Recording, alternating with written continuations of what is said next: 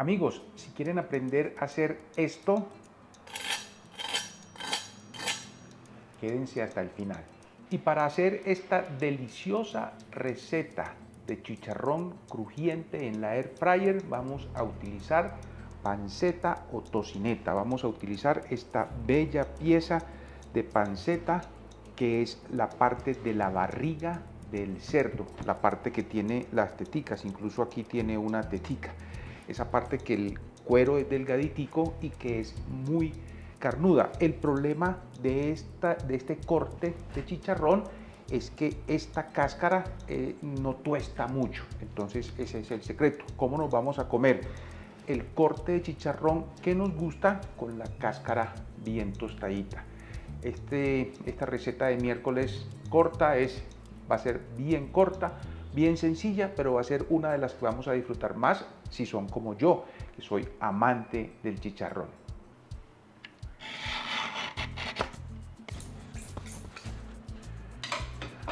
Ahora, con un cuchillito bien afilado, este está muy bien afilado porque lo afilé con mi afilador de cuchillos Victorinox. Luego lo que hice simplemente fue asentarlo. En el proceso de asentado no quedan residuos eh, ni limaduras del cuchillo. En el proceso de afilado sí. Obviamente el cuchillito también es un cuchillo de oficio Victorinox. Lo que vamos a hacer es a esta mm, cáscara pellejo o cuero del chicharrón, vamos a hacerle unas pequeñas cortaduras, pero solamente como unas marquitas.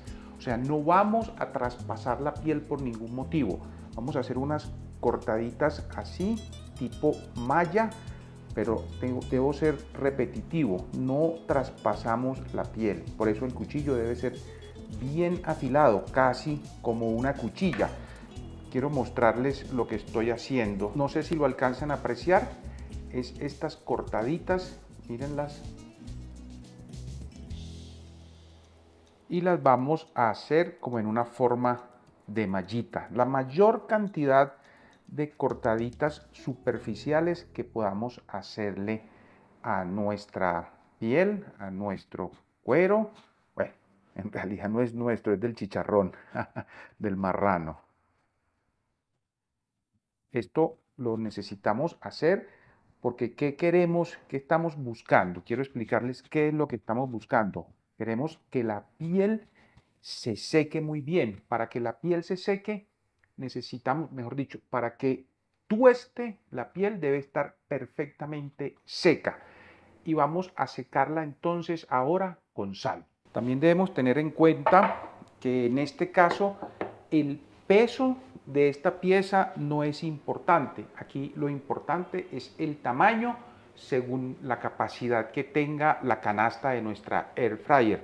Dependiendo de eso vamos a hacer eh, va a ser la pieza de tocineta o panceta en este caso. Ahora qué vamos a hacer? Vamos a poner mucha sal. Vamos a poner primero un poquito solamente por el lado de la carne. Un poquito así y por el lado de la piel del chicharrón sí vamos a poner una capa, así, una capa de sal.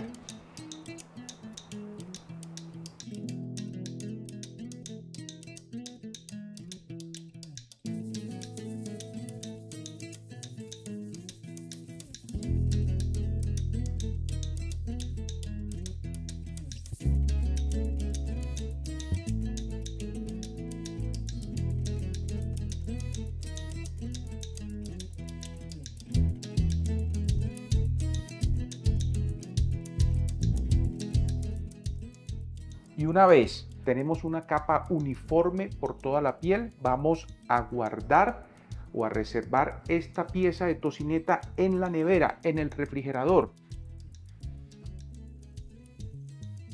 Y esto lo vamos a hacer mínimo por media hora. Lo podemos hacer una hora, dos horas si tenemos tiempo, pero con media hora es suficiente. Nos vemos dentro de media hora. Bueno, ya transcurrió incluso más de media hora. Como les digo, esto con media hora es suficiente. Vamos a quitar el exceso de sal. Miren, esta sal que penetra por las hendiduritas, por las rayitas que hicimos, va a secar esta piel. Mire, vamos a quitar todo este exceso de sal.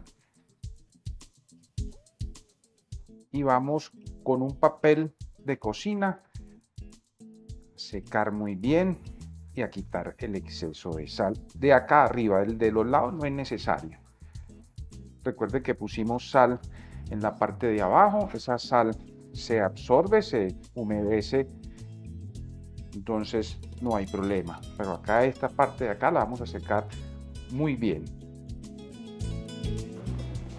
Ahora lo que vamos a hacer es, vamos a tomar medio limón y vamos a humedecer la cáscara, el cuero, el chicharrón, lo vamos a humedecer con este limón. Y vamos a poner un poco de polvo de hornear, polvos de hornear, solo un poquito.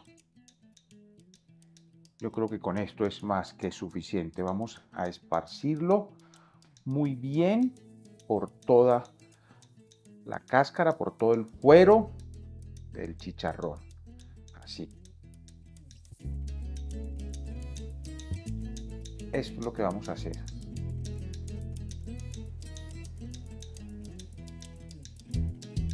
¿Qué vamos a hacer con esto?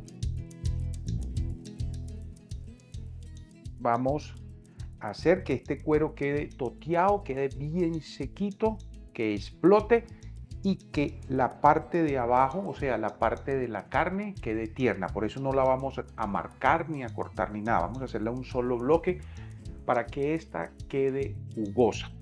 Voy a poner eh, esta pieza en la air fryer, la tengo precalentada, la prendí hace unos 5 minutos, es decir, ya está caliente. No les muestro la rejilla porque me da pena con ustedes de lo viejita que está. Esta air fryer trabaja bastante, bastante, bastante.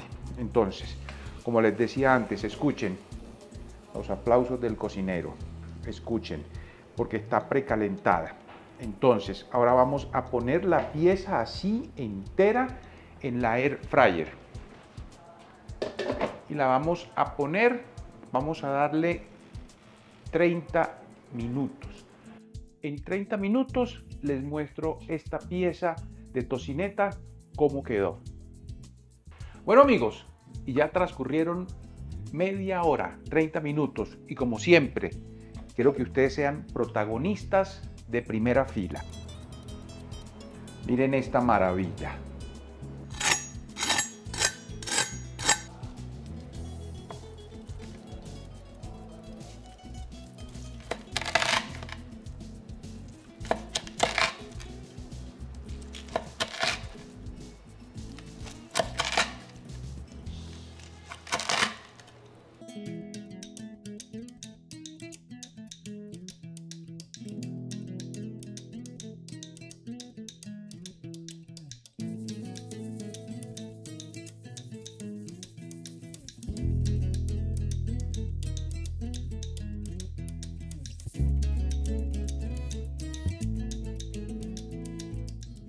Y hoy más que nunca estoy desesperado por probar esta maravilla. Eh, quiero mostrarles la jugosidad que es bien importante que la vean porque es, se dieron cuenta la crocancia de la, del cuero, se dieron cuenta cómo está de crocante, cómo está de seco, de toteado y la jugosidad, porque esta es una forma distinta de comer la panceta. Por lo general cuando la fritamos esta carne nos queda seca, entonces yo voy a probar. Ustedes saben que yo soy amante del chicharrón y esto lo tengo que probar con su permiso. Mm. No. No, no. Qué delicia.